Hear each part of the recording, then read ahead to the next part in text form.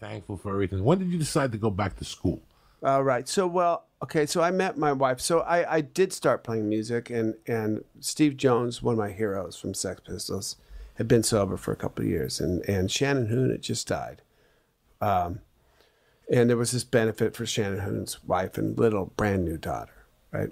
And um, he said, Steve called me, Steve Jones, my hero. I, hey, uh, you want to play a show with me at the at the Viper Room? We're going to raise some money for Steve Jones. All right, uh, I don't, Steve. I don't know if I can play music. I'm sober. I know you're sober, mate. I've, heard. That's why I'm calling you. He goes, you can play.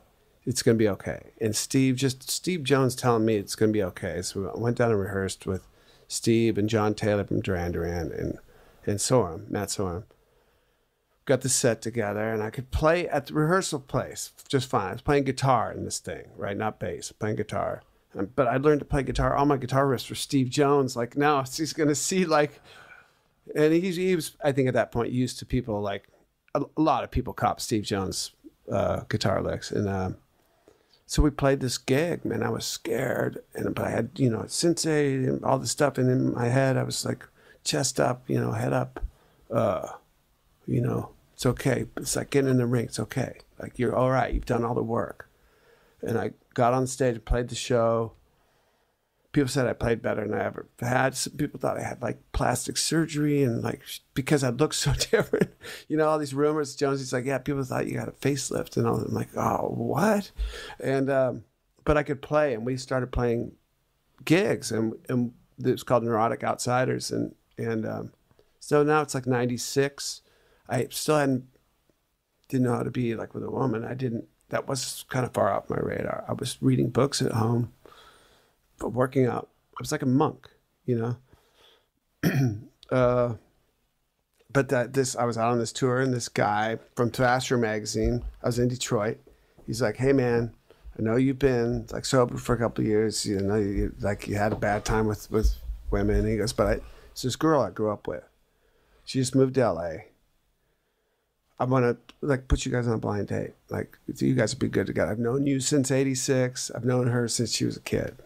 and and she, she, she's a model, but she's like just moved from Paris, New York, back to, down to LA, and and like I don't know if I want to get into that world, you know. Like I, I my world is so simple right now because her world, she's like you. She's from Bowling Green, Ohio. She's really she didn't get mixed up in all the cocaine and the modeling or all that stuff. She's really, and he put her on the phone. We got to my room, went up to my room, called her on the phone, and she sounded like one of my sisters. Sounded really calm, really I talked to her a few times on the phone through the rest of the tour, and she came and picked me up at the Burbank airport. I flew from Phoenix to Burbank. She goes, I'll just pick you up. What, what she didn't tell me, she didn't want me to know where she lived because she thought I was a, you know, I could, a potential creep, right? right? And um, never know, you know, with her. It, it, she was totally right. Like, so she picked me up at the airport, and it was Susan, it was my wife, you know, and this this woman. I this went before TSA and all that. So she met me at the plane. She was all dressed up. I'm wearing like sweatpants and a white beater and tennis shoes, and she looks amazing. And I'm like, ah, uh, uh, oh. Crap. All right. So, um, hey, listen, can we go to my house just so I can at least change? Like, we can't go to dinner with. Uh, I just thought she was going to pick me up and we go get some simple thing. But she was dressed to the nines. And she was the sweetest girl on that first date. She was just like the girl I talked to on the phone. And um, she was really nervous. You know, I found out, okay, she was, oh, she was Susan Holmes. Like John Taylor, like I knew, because John Taylor from Duran Duran was in our band Neurotic Outsiders. He was way more into the fashion world than I ever knew anything about. He's like, man, this girl, he showed me pictures of her.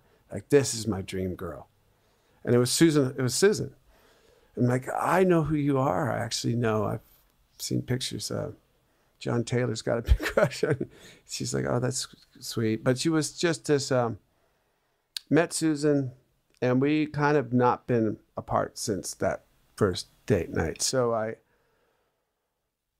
we, you know, I kind of had like tell her like my story, you know, and eventually not that night, but over the next couple months, you know, I said, you know, I've been married a couple times and uh, I was a to die alcoholic and drug addict. You know, I was knew I was going to die, and I was kind of set for it, and it almost happened, and it didn't. Now I do. You see, I go to this dojo all the time. That's my thing, and I'm riding this mountain bike. Uh, this is going to be my thing. And by the way, I just got Sonics tickets for like 21 games courtside. I hope you like basketball. Uh, because I'm that that was I mean that was me making it was being able to get courtside tickets. You know, 95, 96 Sonics. Come on, Fuck yeah. come on. And she That was got Kemp and shit. That was Kemp. fuck yeah. that was Kemp. The Rain Man. yeah, the Rain Man. Yeah, The those were good glove. Uh, Hersey Hawkins. teams. Hawkins, Jesus Christ. Yeah, uh, we. I mean, what a team that was, and uh,